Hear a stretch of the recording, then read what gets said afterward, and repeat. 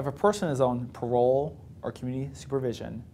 and they want to move to another state and the other state has the interstate compact,